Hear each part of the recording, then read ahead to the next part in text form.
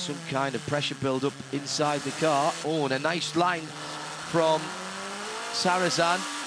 Means he got on the power a little bit earlier than Marco down towards La Source, turn number one here.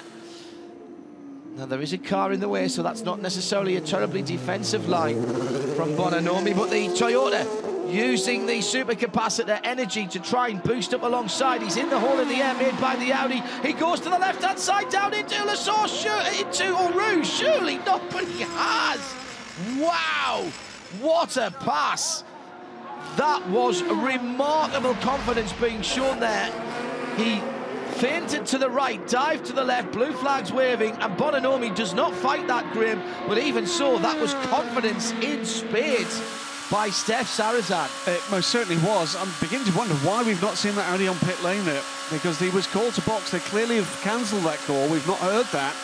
Uh, there was a door ready, which was put to the back of the garage. I